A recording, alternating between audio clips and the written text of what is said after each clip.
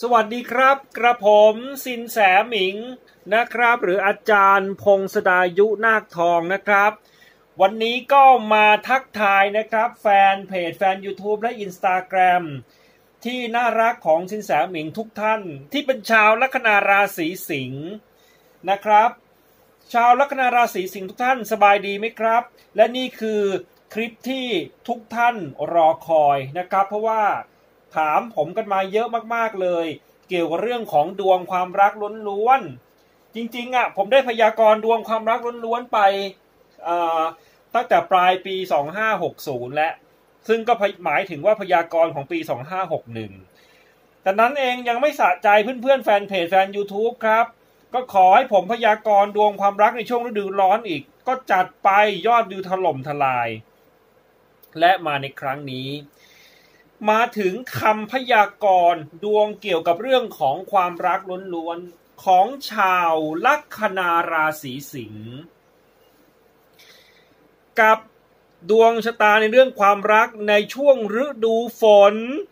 นะครับ ซึ่งฤดูฝนตามสากลเลยเนี่ย ก็จะหมายถึงประมาณกลางๆพฤษภาเข้ามิถุนาแล้วนะ ไปจนถึงประมาณไปปลายกันยาต่อเข้าตุลาแล้วนะครับนะครับ นะครับ เห็นภาพข้างบนนี้ไหม อันนี้เป็นฮ่าเป็นตุ๊กตาของสินแสหมิง เป็นรูปสินแสหมิงเองเลย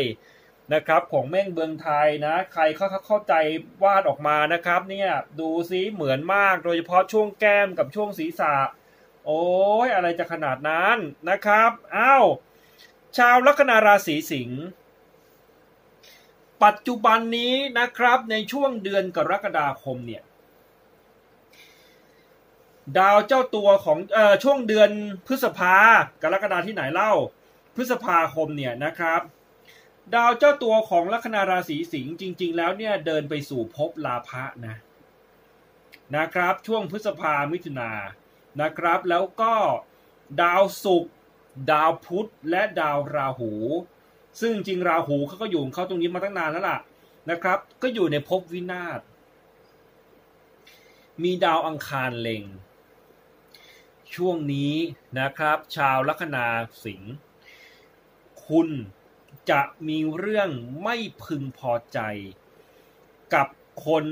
ที่เป็นผมใช้คาว่าเป็นคนรักคู่ครองของคุณก็แล้วกัน มันจะมีเรื่องทำให้จุกจิกงี่เง่าหรือด่าทอกัน ใช้คำว่าด่าทอเลยนะครับ ให้ระมัดระวังปากเสียง คือมันจะพูดไม่ค่อยดีต่อกัน คุณสุภาพสตรีที่เป็นชาวลัคนาราศีสิงห์คุณจะมีความรู้สึกต้องอดทน หรือบางทีก็จะบอกว่ากูเนี่ยเหลืออดเหลือทนกับมึงมากเลยนะฮะเพราะว่ามันจะมีเรื่องทำให้พูดจาไม่ดีต่อกันนะครับทำให้พูดจากันแบบที่ทำให้อีกฝ่ายหนึ่งเสียใจ ส่วนคุณผู้ชายชาวลัคนาราศีสิงห์ก็เช่นกัน ช่วงนี้คุณอาจจะมีเรื่องยุ่งๆจากเรื่องอื่นๆ แล้วมาบันดาลโทสะเอากับแฟนหรือคนในบ้าน นะครับนะครับเนี่ยคือดวงความรักล้วนๆในช่วงฤดูฝนนะ อย่างไรก็ดีนะครับ ก็ต้องอดทน แต่มันมันมันจริง ๆ แล้วตามหลักโคจรของดวงดาวไอ้ดาวอังคารที่มาเร็งราหู แล้วมีดาวศุกร์ดาวพุธเนี่ย ถ้ามองในความหมายด้านลบมันก็เป็นอย่างที่ผมบอกนั่นแหละ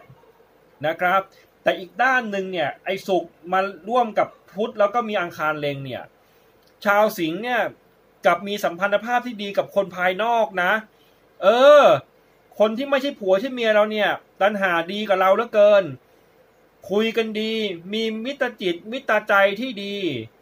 นะฮะ เรามีเสน่ห์กับคนรอบๆข้าง แต่บางทีแล้ว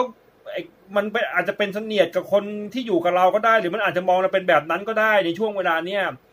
นะฮะ ฉะนั้นฟังให้ดีนะครับ คุณ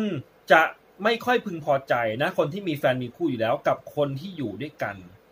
แต่กลับจะมีเสน่ห์กับคนอื่นๆที่อยู่ภายนอกนะครับ ฉะนั้นช่วงเดือนมิถุนาต่อเข้ากรกฎาคม อย่างไรก็ตามขอให้ระมัดระวังเรื่องของความขัดแย้งตรงนี้ให้มาก โดยเฉพาะพอเข้ามาช่วงกรกฎาคมเนี่ยดาวศุกร์มันฉากออกไป มันมีดาวอาทิตย์มาอยู่ร่วมกับพุธและก็ราหู แล้วก็มีอังคารเป็นเล็งอยู่ ช่วงจังหวะตรงนี้อีกช่วงหนึ่งแหละครับ ที่จะทำให้หงุดหงิดขุดหิดแบบอารมณ์เสียนะครับ ถ้าใครยังไม่อยู่เนี่ยมีโอกาสจะได้เลิกกันเลยนะ ในช่วงเดือนกรกฎาคมระวังให้ดีเด้อชาวลัคนาราศีสิงห์นะครับ อาจจะพูดจาแรงๆร้ายๆใส่กัน พูดจาไม่ดี แล้วก็ถ้ายังไม่อยู่เนี่ยอาจจะเป็นเรื่องที่ต้องทะเลาะกันแรงๆได้เหมือนกันนะ อืม ก็ติงชาวลัคนาราศีสิงห์ไว้ด้วยนะครับ พอต่อไปถึงไอ้ช่วงประมาณเดือนเขาเรียกอะไรสิงหา สิงหากันยาไปแล้วนะครับ สิงหากันยาไปแล้ว โดยเฉพาะช่วงเดือนกันยายนเนี่ยยังโอเคขึ้นนะฮะเสียงลายทินแสงหมิงดังทั้งวันนะฮะลืมปิดเสียงโทษทีนะนะครับนะครับนะครับนะครับ ช่วงเดือนประมาณกันยายนเนี่ยจะโอเคขึ้นนะครับ กันยายนเนี่ยจะรู้สึกโอเคขึ้น แต่สิงหาก็ยังจุกจิกจุกจิกอยู่ พอกันยายนเนี่ยจะโอเคขึ้น ฉะนั้นใครที่เป็นคนโสดนะครับกันยายนดาวศุกร์เดินมาเป็นตำแหน่งปทุมเกณฑ์ร่วมกับดาวพฤหัสปทุมเกณฑ์ที่ดีมากนะ เป็นโหราศาสตร์เป็นกฎเกณฑ์ของ astrology หรือโหราศาสตร์ที่ดีมาก หมายถึงถึงสิ่งที่ดีๆ สิ่งที่น่ายินดี ฉะนั้นความรักของสิงห์ใครที่ห่อเหี่ยวมารู้สึกเบื่อนะครับนะฮะเบื่อหงุดหงิดนะครับ อารมณ์ไม่ดีพอเข้ากันยายนเนี่ยก็น่าจะแฮปปี้ขึ้นนั่นแหละนะครับ ส่วนในเรื่องของอารมณ์ความรักอารมณ์ทางเพศเนี่ยนะครับ ก็ต้องย้ำเหมือนเดิมนะครับว่าอ้าวบางคนถามว่าทำไมที่แสหมิงต้องพูดถึงเรื่องอารมณ์ความรักเรื่องทางเพศเอาไอ้หาก็มึง มันเป็นส่วนหนึ่งในชีวิตปะล่ะ อืม หรือคิดว่าชีวิตนี้มึงจะแค่ทำงานนอนเหรอเออ มันเป็นปัจจัยสำคัญของชีวิตมนุษย์ทั้งนั้นแหละ อืม ไอคนที่บอกว่าไม่สนใจจริงๆอะบางทีตัวดีเลยแหละ อืมนะฮะนะฮะ แต่มันเป็นพวกเรียกว่าองุ่นเปรี้ยว ปากบอกอย่างใจคิดอีกอย่างหนึ่งอย่าไปปฏิเสธเลยไอ้เรื่องรักใกล้ๆมันเป็นเรื่องปกติในมนุษย์ทุกคนนั่นแหละฉะนั้นก็จะมีการสืบพันธุ์ไปทำเตี่ยอะไรล่ะ ถูกไหมฮะ อืม มันก็ธรรมดาทุกคนนั่นแหละ ทุกชนทุกชาตินั่นแหละซีเรียสนักหนา นะฮะ อืม นะครับ ก็นั่นแหละ นะฮะช่วงประมาณเดือนสิงหาต่อช่วงกันยายนช่วงนั้นเรื่องความรักจะลงตัวขึ้น หลายอย่างก็จะแฮปปี้ขึ้น มีความสุขมากยิ่งขึ้นนะครับนะครับ แล้วก็ช่วงประมาณเดือนตุลาคมนี่ก็ยิ่งโอ้ยิ่งยิ่ง happy ใหญ่นะครับ happy ขึ้นมากเลย ทีนี้จะเริ่มสมหวังแล้ว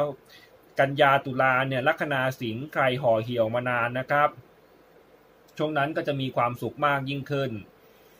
นะฮะจะมีความสุข happy มากยิ่งขึ้นนะฮะถ้าเกิดไม่เลิกกันซะก่อนนะ ในช่วงประมาณพฤษภามิถุไอมิถุนากรกฎานะฮะนะฮะแต่ถ้าเลิกไปก็มาเจอคนใหม่ทันทีอะกันยาตุลา หรือพอไอคนเก่ายังไม่เลิกสนิทดีเลยไอคนใหม่มันรอเสียบอยู่แล้ว มันเข้ามาพอดีโป๊ะเลยกันยาตุลานะครับ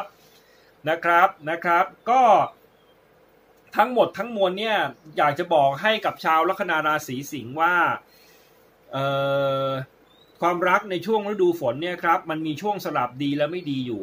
ในช่วงต้นๆอาจจะไม่ค่อยดีนัก มันจะมาขยับดีช่วงปลายฤดูฝนไปแล้วนะครับ ก็ขอให้ชาวลัคนาราราศีสิงห์แฟนเพจแฟน YouTube ของสินแสหมิงทุกท่านมีแต่ความสุขโชคดีนะนะครับ ฟังแต่เสียงนะไม่ต้องเห็นหน้าหรอกวันนี้หน้าตาเหมือนเดิมนั่นแหละนะครับอ่านะครับ ขอให้สิงห์มีแต่ความสุข คิดสิ่งใดปรารถนาสิ่งใดให้สำเร็จสมหวัง แล้วก็สมความปรารถนาดังตั้งใจทุกๆประการนะครับนะครับ ขอให้ให้ success ทุกๆประการนะครับ